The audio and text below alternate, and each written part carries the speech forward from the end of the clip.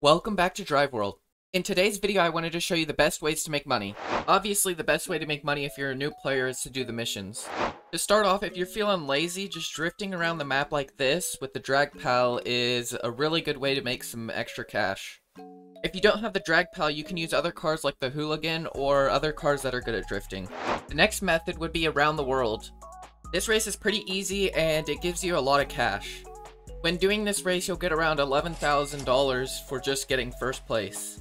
The next best would be doing drifting and around the world at the same time. When you're drifting, you're already going around the entire map, so just going into the race will give you a little bit of extra cash. The next best would be Sandy Sprint. Doing this race with Dragpal will get around 20 seconds, and it'll give 7.5 thousand for each win that you get.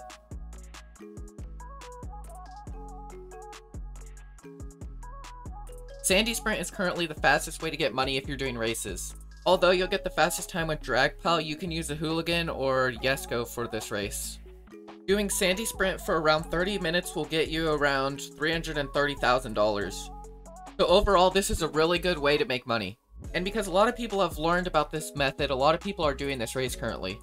The next best method is doing trailer deliveries.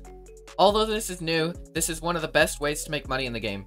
In 30 minutes, you'll get around 370,000 and 11 years off your lifespan. So if you're looking for a fast way to get cash, this is definitely one of the best ways. Now for the best way to make money, you could probably guess it's food deliveries. For an average of 400,000 per 30 minutes, this is definitely the way you want to make money. Especially if you want to keep your sanity. Not only is it not repetitive like going from a start of a race to a finish of a race over and over again, you don't need anybody else to do this with. I hope this helped one of you and I'll see you later.